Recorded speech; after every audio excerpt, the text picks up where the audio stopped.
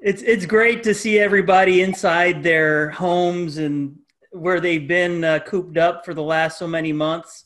Uh, in a several days, we're going to be heading into the yellow phase, which means that it's no longer mandatory that you have to shelter at home, um, and that uh, some of the restrictions are going to be uh, changed, uh, and uh, and groups of 25 uh, up to 25 can gather.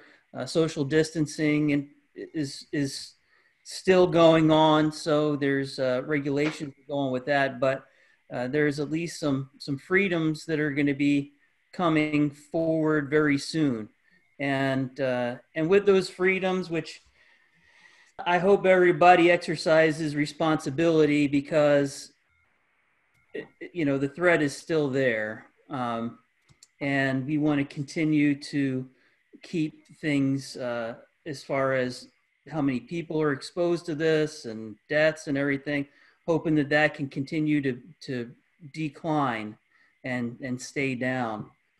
Uh, right now, also something going on that, I, that everybody's been exposed to is uh, the George Floyd death, um, murder uh, for by a police officer caught on film. It's just basically ignited people who are uh, of color and who are oppressed uh, all across the country. And there's all kinds of demonstrations and protests, and um, there's a lot going on right now in our country.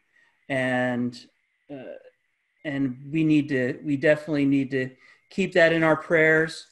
And we also need to come to the aid of those who um, who who are uh, the, on the victim side or the, the victim of injustice. Um, as Christians, we're supposed to, to help those, those types of people. Um, and it's, it's, it's heartbreaking what happened. And, um, and I'm hoping that it, this will cause some sort of reform in the country with, with how uh, law officers interact with people of color and people in general. Um, so I, am not sure exactly um, what that might look like, but I'm hoping that something will happen, and I'm hoping that that uh, at w- when all this dust settles, that there will be a much more peaceful and uh, and unified country. It seems like there's a lot of uh, discord even before that happened. Thank you, everybody. Um, so today, our lesson is is encouraging one another, encouraging one another.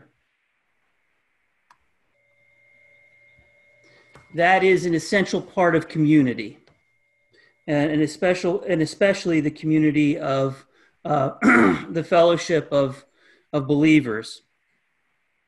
Uh, when I think of encouraging, one of the uh, one of the times that I believe I was most encouraged, and this is this comes up in my mind whenever I'm I, I might not feel be feeling uh, uh, worthy in some kind of way or up to a task. Uh, I haven't shared this story too often, but when I was in high school, uh, I did I did well my first year in ninth grade. Uh, my second year in tenth grade, though, we started heading downhill. I became disillusioned with school, um, and was not.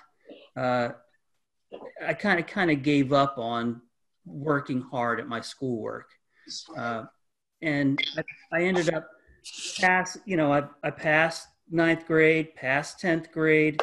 And then, uh, well, actually, sorry, I, I went through 10th grade and then I didn't pass 10th grade. I ended up staying back a year. And the way they handled that in my high school was in ninth grade, I was in room 310. uh, with the people in my class, with all the people in the, the class of 1995.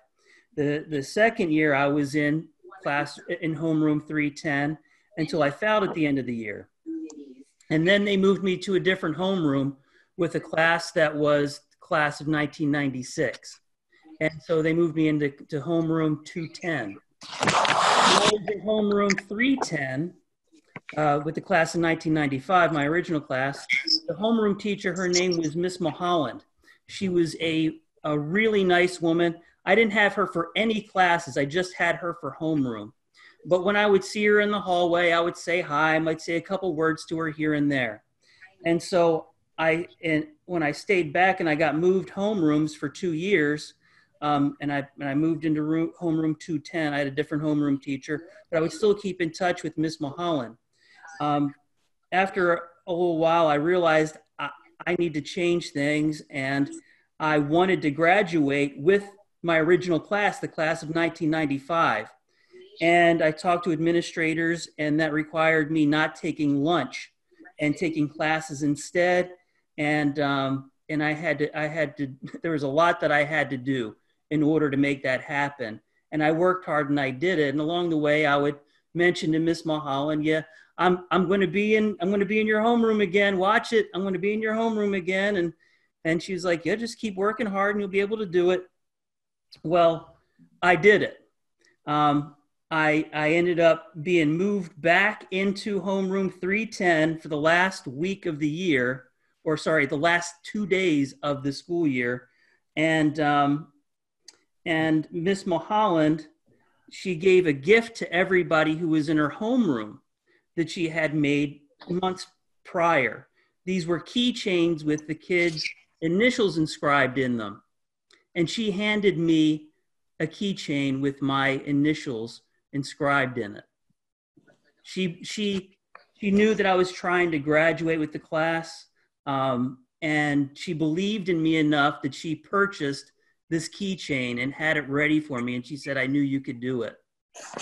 That really encouraged me. Um, that encouraged me deeply. And, and I carried that keychain around with me until it was basically, um, my initials weren't even on it anymore. And it was, it, it, it, I put it away in another spot now. Just, I take it out and, and think about it once in a while. But uh, encouragement is something that we all need and we all uh, need to give and offer one another.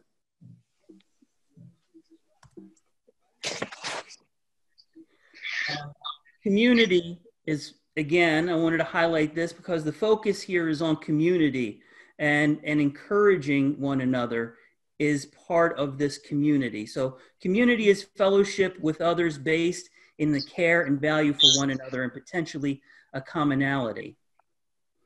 And encouraging one another is a characteristic of God. And God does expect it from his image bearers. So, what, what does it mean to encourage one another? Let's take a look at what Hebrews chapter 10, verses 25, 24 to 25 says. It says, And let us consider how to stir up one another to love and good works, not neglecting to meet together, as is the habit of some, but encouraging one another, and all the more as you see the day drawing near. I like that. Uh, I, I like how this is phrased in, in the very beginning here. Encouraging one another is to stir up one another to love and good works that is that is the purpose of encouraging someone.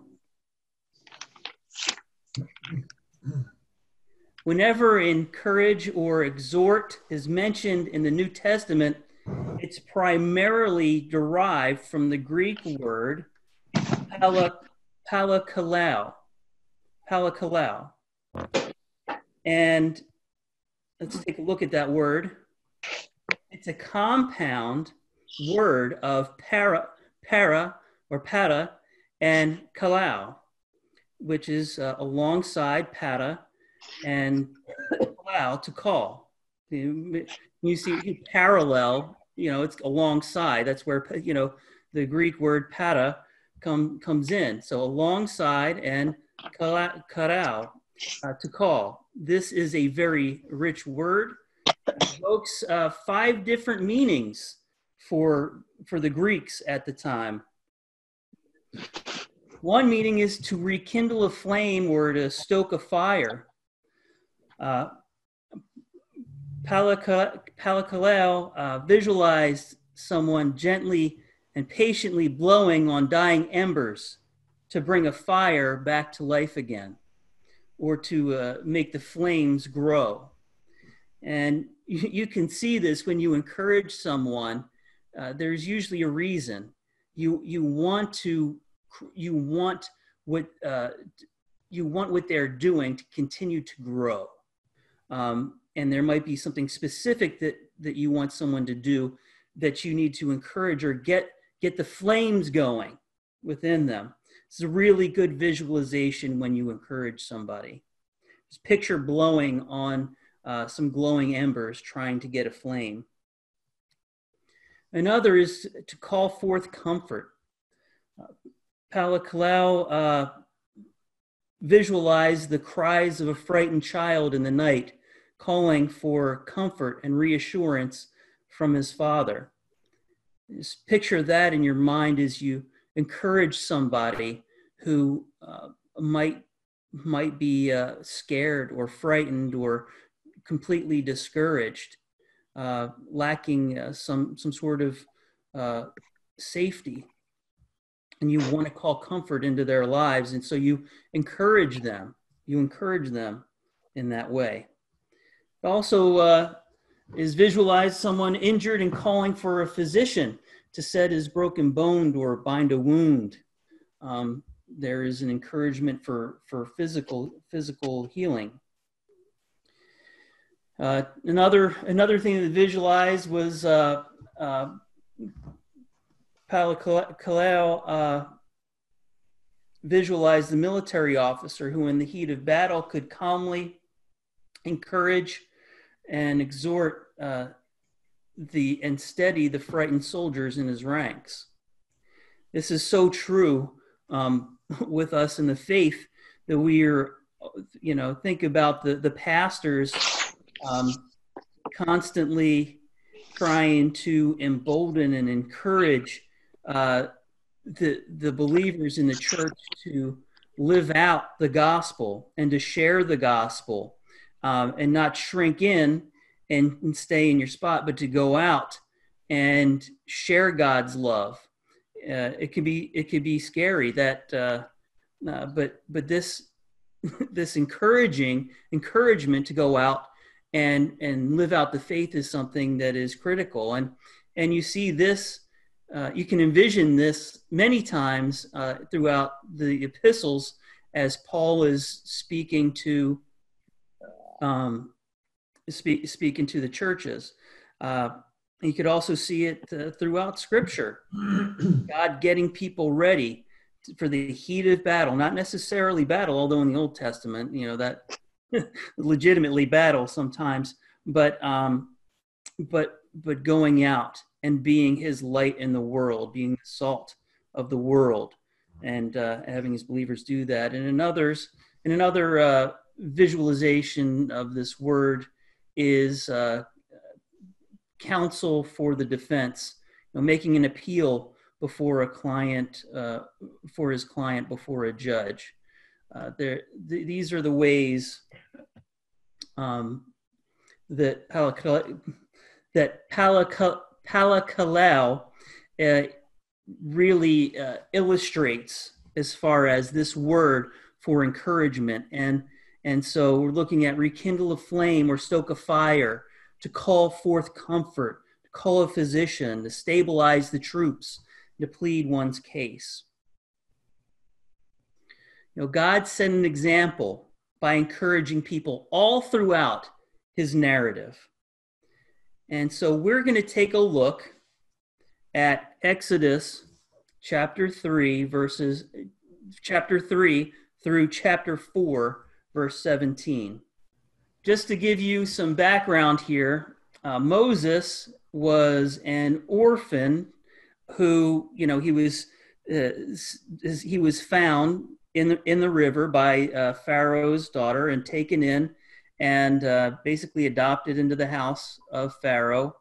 Um, and but he was always someone who was not born into the family. He uh, at one point saw a, a Hebrew being beaten by an Egyptian, and he murdered the uh, the Egyptian and buried him in the sand. And he, thinking that maybe nobody saw it, but apparently people did see it, and the word got out. And Pharaoh was very angry, and Moses became a refugee, and he ran from the land. And so, uh, and he found it fell upon a priest, um, priest's daughters, and uh, and they brought him back to the family, and um, he became basically part of the family. Married one of the priest's daughters, and um, and so here, uh, the, that priest's name was Jethro, and here is where we're picking up in the story. I picked this because th- this is a story where you really see God as an encourager. And Moses is almost a worst case scenario for someone you're trying to encourage. sometimes, sometimes you can encourage somebody, and it's like, man, how much do I need to encourage this person?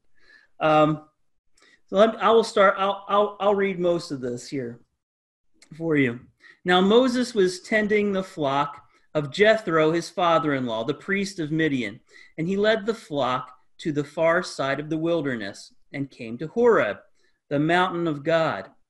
There, the angel of the Lord appeared to him in flames of fire from within a bush. Moses saw that through the bush that though the bush was on fire, it did not burn up. So Moses thought, I'll go over and see this strange sight, why the bush does not burn up. When the Lord saw that he had gone over to look, God called him forth from within the bush Moses, Moses. And Moses said, Here I am. Do not come any closer, God said. Take off your sandals for the place where you are standing is holy ground.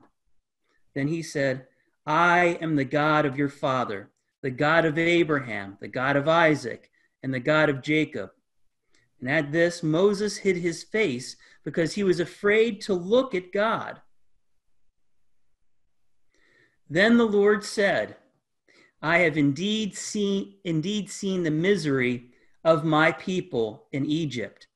I heard them crying out because of their slave drivers, and I am concerned about their suffering. Now, mind you, um, Moses was very much a witness to this, and he even killed one of those Egyptian slave drivers. So Moses is this this hits home for Moses. So God goes on, so I have come down to rescue them from the hand of the Egyptians and to bring them up out of that land into a good and spacious land, a land flowing with milk and honey, the home of the Canaanites, Hittites, Amorites, Perizzites, Hivites, and Jebusites. And now the cry of the Israelites has reached me, and I have seen the way the Egyptians are oppressing them. So now go. I am sending you to Pharaoh to bring my people, the Israelites, out of Egypt. so the story should pretty much end right here with Moses going, right? As he says, So now go. I am sending you to Pharaoh to bring my people, the Israelites, out of Egypt. You know, a confident person would be like, Yeah, all right, I'm on my way. Ready to go. But um, but that's not what happens. God says go, but then uh, Moses stops. He says, he says to God, Who am I that I should go to Pharaoh and bring the Israelites out of Egypt? So he's questioning himself. Who am I that I should go and do this? Clearly has an issue with his confidence. And God said, I will be with you and this will be a sign to you that it is I who have sent you. When you have brought the people out of Egypt, you will worship God on this mountain. So, so first, I just want to point out so so now go i am sending you to pharaoh to bring my people the israelites out of egypt this is a command but god is choosing moses. Out of everybody in the entire world god is choosing moses. And the fact that god is choosing him should be encouraging to moses. That that is when you get chosen, it's an encouraging thing. When um, when when I think Drake mentioned about getting picked um, when when doing sports, you, you're picking teams like when you were younger, and you know you get up against a wall and pick this person, pick that person. Drake mentioned this, I think, in uh, was one of his devotionals.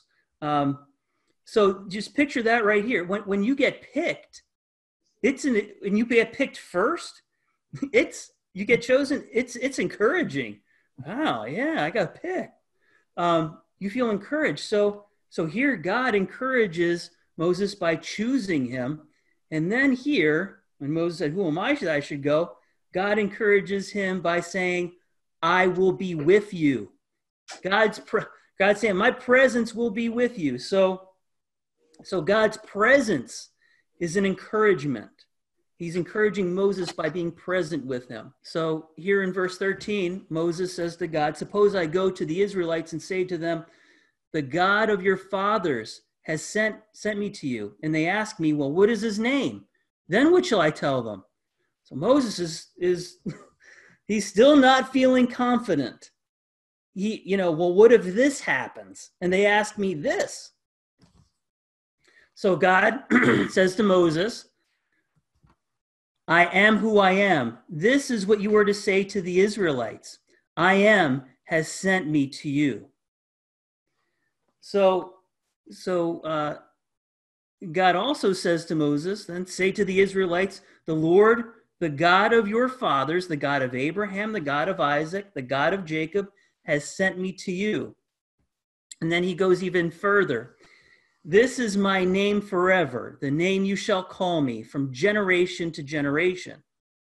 Then he says, Go assemble the elders of Israel and say to them, The Lord, the God of your fathers, the God of Abraham, Isaac, and Jacob, appeared to me and said, I have watched over you and have seen what you have done, what, what has been done to you in Egypt. And I have promised to bring you up out of your misery in Egypt into the land of the Canaanites, Hittites, Amorites, Perizzites, Hivites, and Jebusites, a land flowing with milk and honey.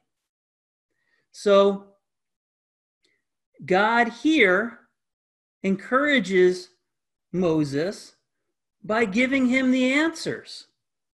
He tells him what to say. Well, all right, you're worried about them asking that. I'll tell you what to say. Here are the, here are the answers, Moses.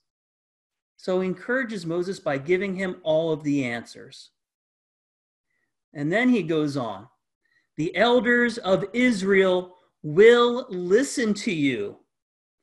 Then you and the elders are to go to the king of Egypt and say to him, The Lord, the God of the Hebrews, has met with us.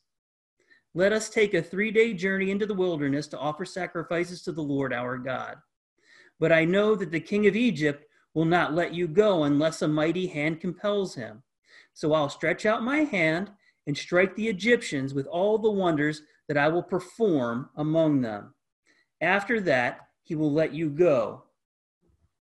So, um, so here we have in this paragraph 18 to 20 the elders of Israel will listen to you. God, another encouragement. God assures Moses that the elders of Israel, they will listen to you. And then another encouragement the biggest problem, the, the, the huge crushing army of Egypt. You know, well, how are we going to be able to, to go out and worship and do these things? Um, God says, I will take care of that. I will take care of the biggest problem.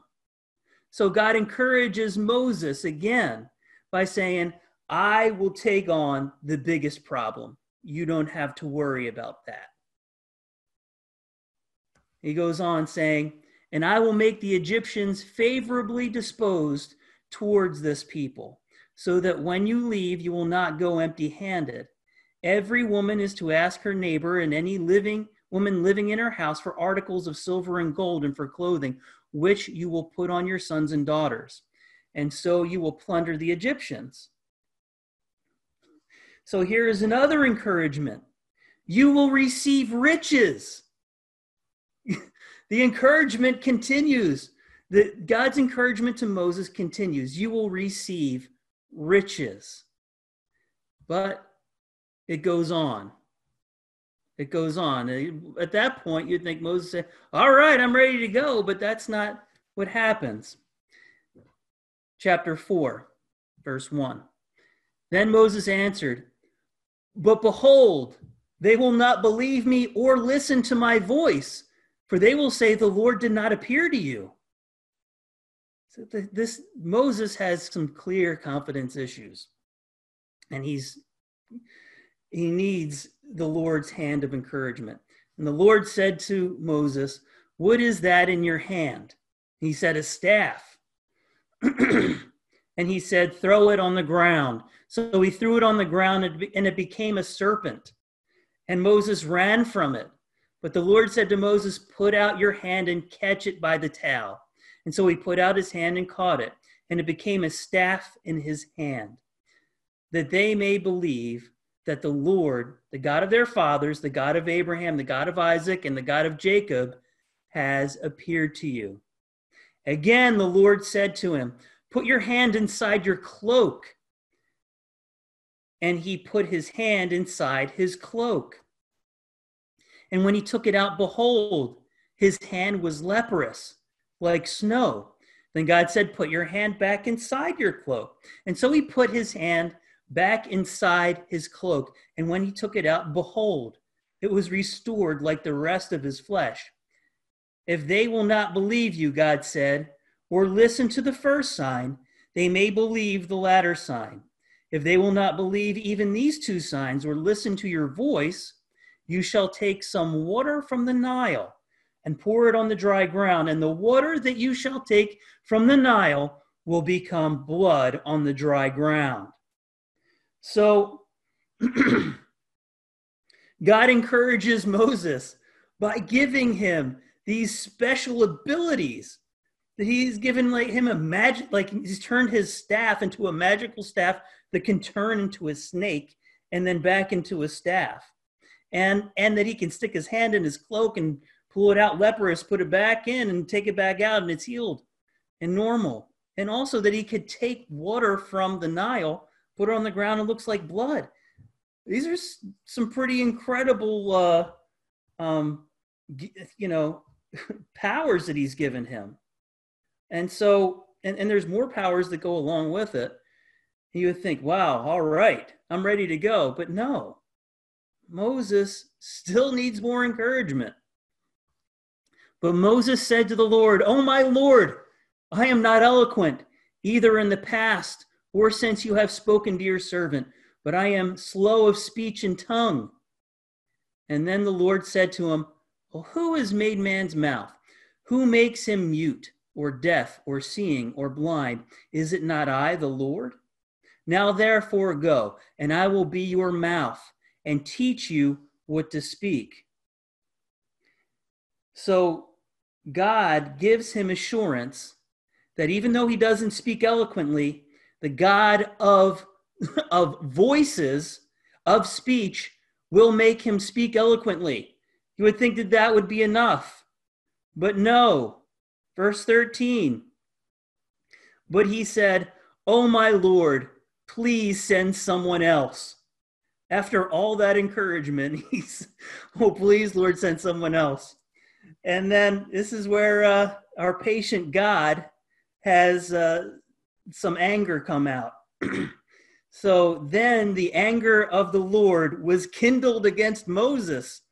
And he said, so his, his anger was kindled, okay, and yet he still goes on encouraging. And he says, Is there not Aaron, your brother the Levite? I know that he can speak well. Behold, he is coming out to meet you. And when he sees you, he will be glad in his heart. You shall speak to him and put the words in his mouth. And I will be with your mouth and with his mouth, and will teach you both what to do. So now God gives Moses a partner, and not just any partner, a partner who he assures him and encourages him will be glad to see him. Aaron will be glad to see you. That, oh, all right. So, so more encouragement.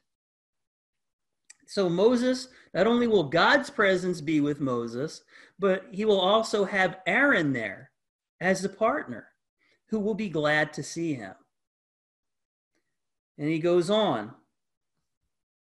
to say about Aaron, he shall speak for you to the people, and he shall be your mouth, and you shall be as God to him. And take in your hand this staff with which you shall do the signs. So, last bit of encouragement. It's like this, this is like, whoa. How much does God want to encourage Moses to the point where he's willing to give Moses the power of God over Aaron, his partner, and to give him what to say. God encouraged Moses by choosing him, by being present with him, by giving him the answers, by assuring him, by taking care of the biggest problem by promising him riches, by imparting special abilities upon him, by promising him that he would make him speak eloquently, by giving Moses a partner who will be glad to see him, and by giving Moses the power of God over his partner. If you look at, at how God in, in this, you know, some of the the the verbs um, that are here in the encouragement that God gives. He chooses him, chooses um, by being, by giving, by assuring, by taking care, um, by promising, by giving, um, and again assuring. So, so these are ways of encouragement. encouragement um, is is listed in Scripture as a spiritual gift. Let's take a look at Romans chapter 12, verses 4 to 8. Romans 12, 4 through 8. For as in one body we have many members, and the members do not have the same function. So we, though many, are one body in Christ, and individually members one of another having gifts that differ according to the grace given to us. Um, it says, Let us use them if okay. prophecy in proportion to our faith.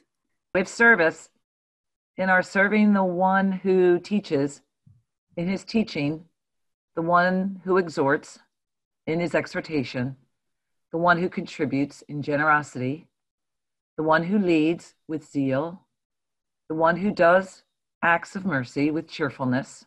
Um, I have these highlighted here. All right. Uh, these are mentioned as gifts. And there, this is might be seem kind of peculiar to you because um, here we have uh, the first highlighted portion.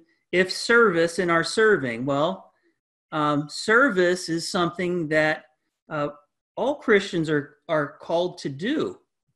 Um, the next one is the one who teaches. Not everyone's necessarily called to teaching. Um, then you have the one who exhorts in his exhortation. That's encouragement. Um, exhorting is encouraging, and so we're we're all supposed to do that one too. That's what we're learning about today. The next is the one who contributes in generosity. We're all we're all called as followers of Christ to contribute and to be generous um, and so that that's another one. And then here, acts of mercy.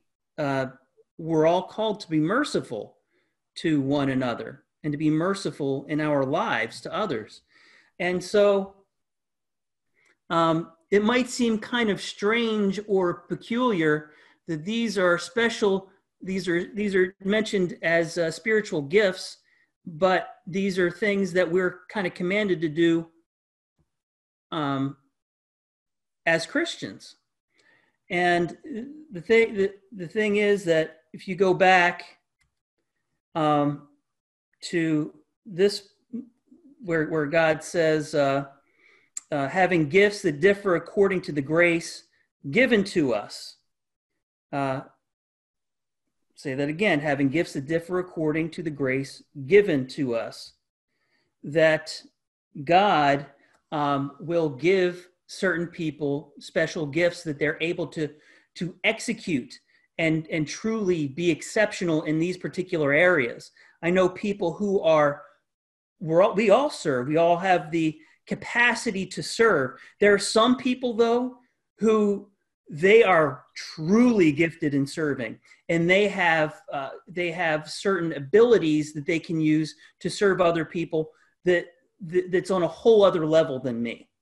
And then uh, encouraging would fall into that same category. And then the one who contributes in generosity. There's some that have uh, way more resources to give and so they're gifted in a way where they can give more than others. And then the one who does acts of mercy. Uh, there are people in a position who who ha- who are who have the ability to impart way more mercy than I can impart. Um, you think of uh, a judge uh, uh sitting on the bench. Um, he has way more capacity of of dispersing mercy than I do. Uh, and you find that all around the board.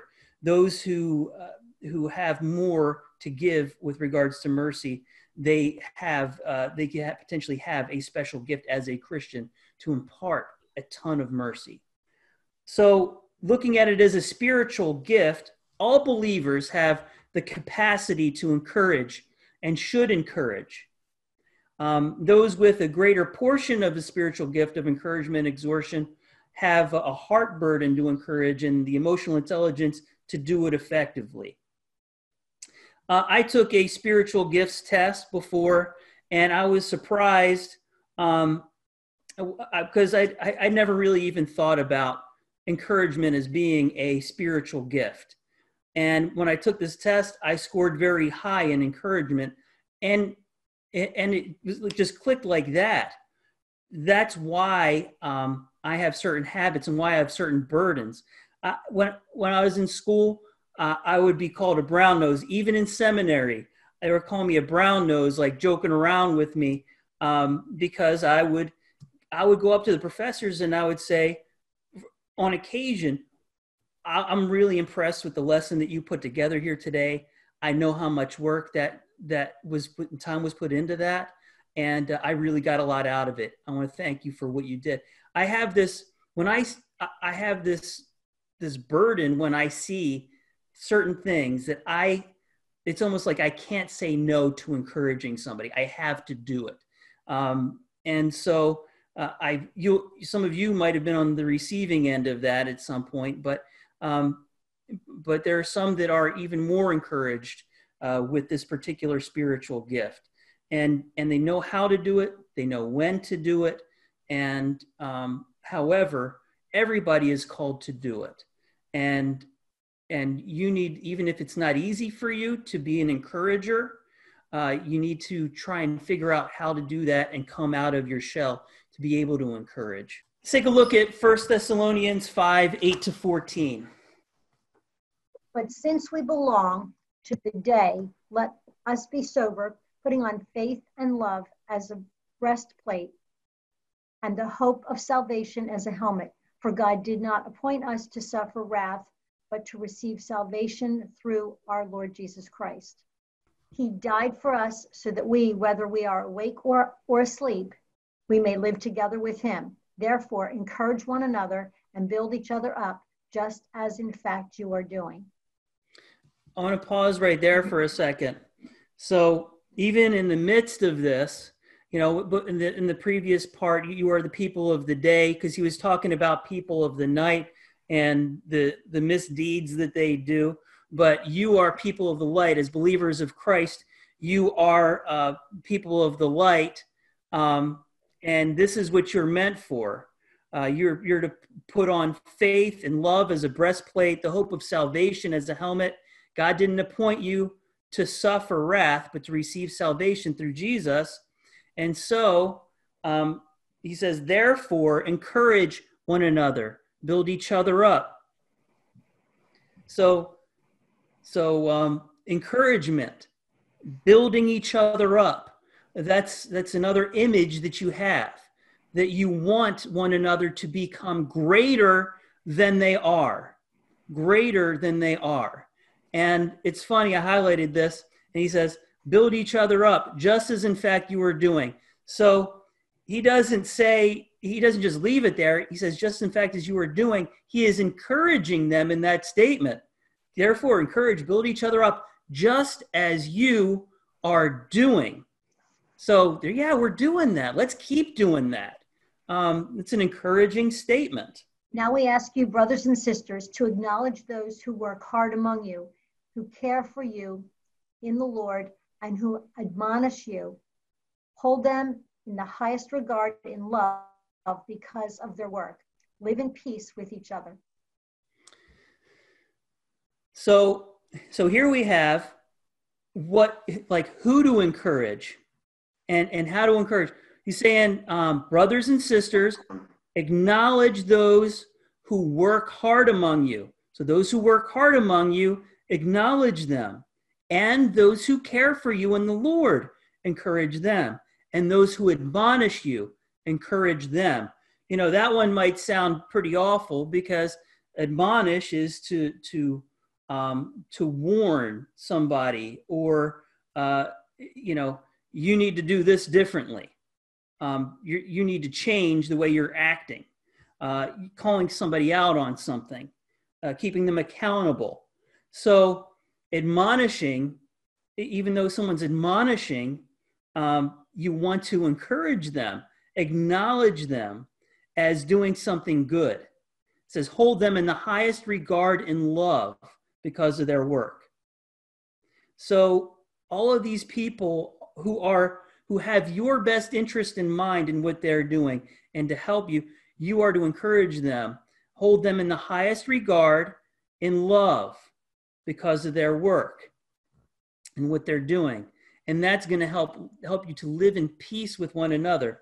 And we urge you, brothers and sisters, warn those who are idle and disruptive, encourage the disheartened, help the weak, be patient with everyone. Make sure that nobody pays back wrong for wrong, but also strive to do what is good for each other and for everyone else.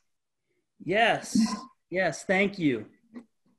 So, First Thessalonians, um, we have here in, in our passage those who who to encourage and why. And the, and uh, the one part we have those who work hard, those who care for you in the Lord, those who admonish you.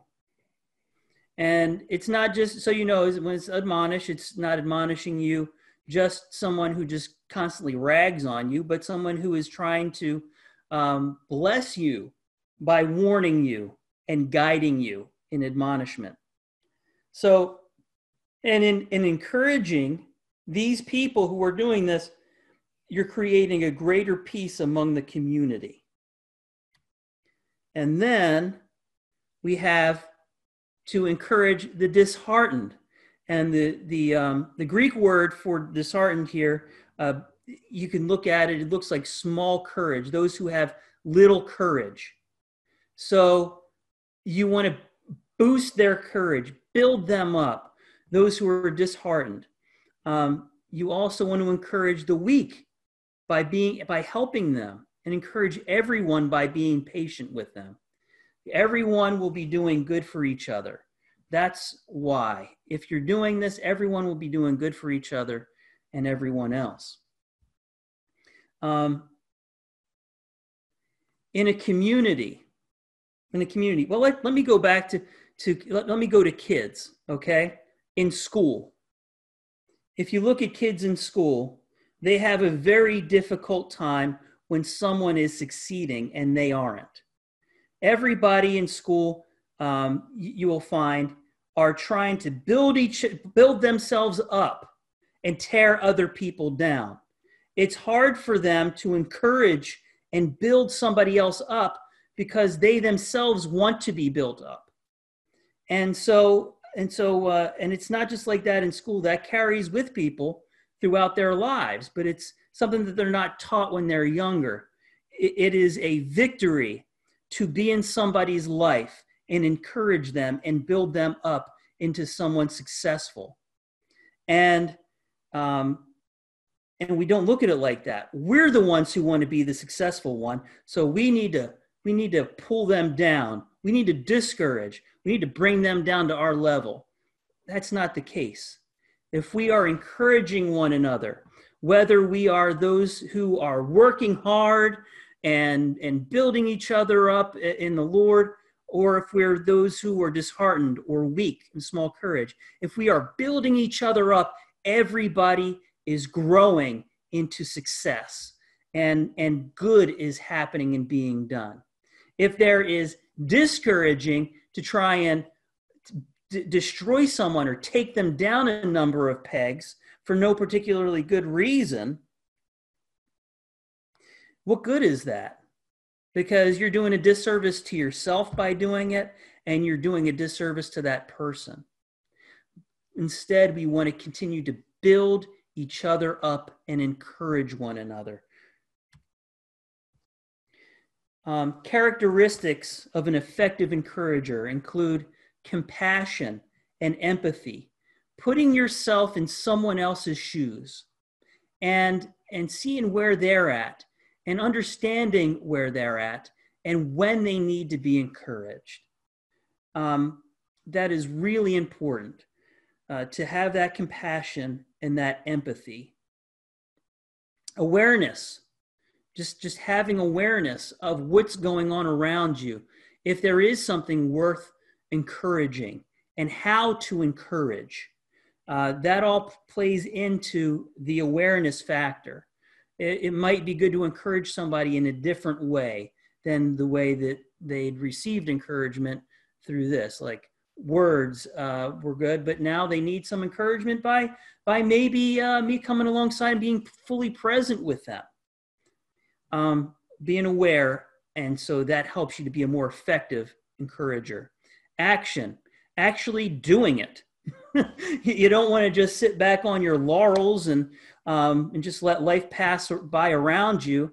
Even if you aren't someone who's been getting encouraged, find yourself going out to encourage somebody else because that will enable you to grow. You want to engage in action. God, the disciples, um, throughout Scripture, uh, there was action going on. They encouraged through action. Uh, selfless motivation. We don't want to encourage somebody because we are trying to get something out of them, that we're trying to manipulate them in some sort of way. We want to do it because we love God. We want them to grow closer to God and we want them to be successful in everything that they do and become better in everything that they do. So, selfless motivation is really important. And then being genuine and sincere. Um, uh, Bob Russell tells about a story. He was at a, a conference and he was speaking at this conference. He's he, Bob Russell's a preacher, and he was also doing a book that's kind of led some of this series. Uh, but he was preaching at a conference, and um, there was a woman who got up and sang uh, worship at a particular point in the service, and she wasn't necessarily very good. Uh, the choir director afterwards uh, went up to Bob and was talking with him, and they were having a conversation, and the woman who sang came walking by. The choir director stopped, went to the woman, and made a big show how wonderful that was. Uh, you, you sang beautifully. That was great. And then uh, she went by and she was smiling. She felt good about herself. And the choir director went back to Bob in their conversation, and he did a side um, saying to Bob, That really wasn't very good, was it? and kind of like a wink, wink. And um, and then he said to Bob, "And hey, I really enjoyed your message." so um, that wasn't very sincere, and and you need to be genuine and sincere in your encouraging. You don't just want to throw empty, uh, manipulative encouragement out there for someone. You want to be genuine and sincere when you're talking about. It. You want to be truthful and authentic. Some final things to note with regards to our lesson. There are various ways to provide encouragement for one another. Words, telling somebody um, in, in uh, that you appreciate what they've done, that they've done well, um, and uh, and so using words is really good, and it's probably the easiest. Uh, letters writing something down to just encourage someone in their everyday. I've received I've received lots of letters from people at church that have truly lifted me up and encouraged me. And I have an email folder from emails that I've gotten that I, I go into once in a while when I'm not feeling really great about myself or I'm feeling down. I also have a, a, a physical folder with cards in it and other letters that I've received from congregation members that truly lift me up. And I hope that you all have letters or something that represents encouragement to you that will lift you up. Uh, being present with one another, uh, be, your presence is an encouraging thing. Gifts, receiving some sort of a gift. Like I mentioned in the beginning of this, I received that gift from uh, Miss Mulholland that told me that she believed in me. And so uh, that was gifts can be a real encourager. Uh, helping someone is encouraging. Giving information to someone, helping them with information, that's encouraging. Assurance, reassurance, being patient.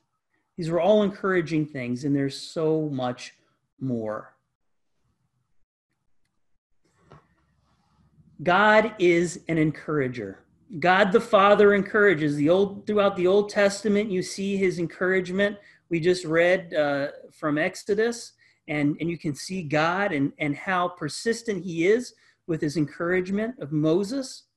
And if you even look at the New Testament, when Jesus gets baptized, the voice of God the Father comes down from heaven. This is my Son in whom I'm well pleased. That's encouraging. It's encouraging. And so, uh, God the Father is an encourager. Jesus encourages. He rewards faith. Uh, he touches lepers. How encouraging must that be? A leper who's probably never been touched in like five years. Jesus comes up to him and puts his hand on him and then heals him. Uh, that that's encouraging to just just have someone uh, touch you when you haven't been touched in a million years. Uh, not a million years, but five years. It seems like a million. And uh, Jesus empowers the disciples uh, by encouraging them and, and by giving him the powers that he imparted on them. And the Holy Spirit, the Holy Spirit is the, the, uh, the parakletos, the parakletos uh, that's uh, obviously a Greek word. Uh, it's the encourager, the comforter, the consoler, all things that Jesus was to his disciples when he was physically present on earth. The Holy Spirit is to us in his church right now. it is clear in Scripture that God has called you, his image bearers, to emulate him and encourage one another in Christian community, especially in the faith, in things of the faith, and continuing his mission. So, encourage one another. Anybody have any um, anything you want to add to this, or any questions? Uh, now I understand better why you have been personally so encouraging to me. You you've been really eh, very encouraging, and more than most people, and now I see why. so thank you. You're welcome.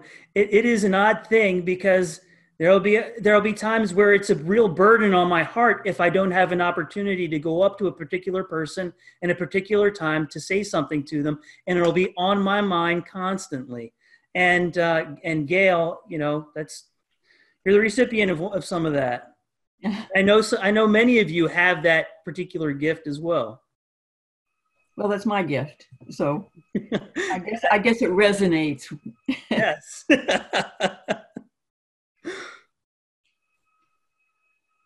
Gentlemen, I think this lesson uh, dovetails very nicely with last week's lesson about taking on someone's burden by encouraging people, um, especially the, the initial description of the Greek word.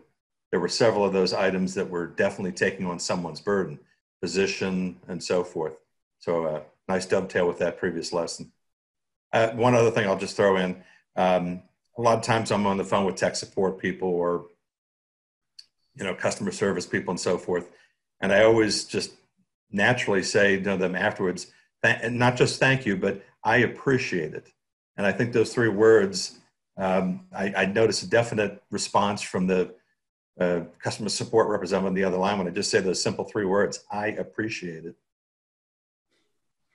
and you, you some, we sometimes forget those are human beings on the other line doing yeah. a job and so um, to let them know that you appreciated what they're doing instead of uh, um, just dismissing it like, yeah, that's great. Yes, I was just going to mention that in terms of encouraging the Bible study that I, the small group study that I've been involved in over the last, I guess, three years now, um, has just really been encouraging to me. A wonderful, a wonderful uh, addition to our church. I just think everyone get involved in the small group. I just think it's great. Very encouraging. Thank you. That's great, and we and that's one of the things we want to do. We want to encourage people to get involved, um, to be to, to to get involved in our studies, to get involved in church and, and what's going on here in the activities, um, because that encouragement is encouraging people to be discipled and be discipled through these programs.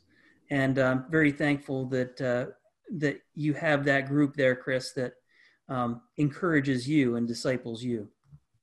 You know, just before we go off, um, just had a really neat experience this week. I don't know where it came from, but um, oh, I guess it was from one of the morning shows. If any of you have time, there's a woman by the name of Brene Brown, and um, she does her work on uh, vulnerability. And she spoke to the University of Texas this week for their graduation speech. And if you have time to go on YouTube and listen to it, it's uh, about encouragement, but she puts her own unique about how when we be, when we're able to be vulnerable to each other, uh, what you gain from that by being able to be vulnerable. So if you have time, listen to it this week. It's really, it's very encouraging. It's what it is. Thank you. Thank you. Thank you, everybody. Can I have an announcement before you, everybody goes? Uh, uh, two things. Uh, we have uh, Zoom offerings uh, throughout the week. Uh, Wednesday lunch, we'll look at the prophet Jonah. Thursday evening, there's a study at 7 o'clock. Uh, there are men's and women's studies throughout the week. And then, of course, we'll be back here next Sunday. Uh, we apologize for the link that came out on one of our emails uh, uh, this week that may have redirected you to the um, to a previous service. Uh, but the May 31st service is up on our YouTube channel and is up on our Facebook page, and hope that you've been able to take advantage of it or will take advantage of it later today it's it's Pentecost, and so prepare elements. There is a communion aspect to the the service. Um, so grape juice or wine and bread. Uh, also, if you have any kids or, or you know who are young adults, we have uh, young adult dessert and devotions on Wednesday nights. It's a lot of fun, and uh, we've been, been been having a great time getting to know the Lord better through that, and that's at uh, 8:30 on Wednesday nights. You can um, uh, find information about that on the church website too, or you can email me if, if you need anything with that.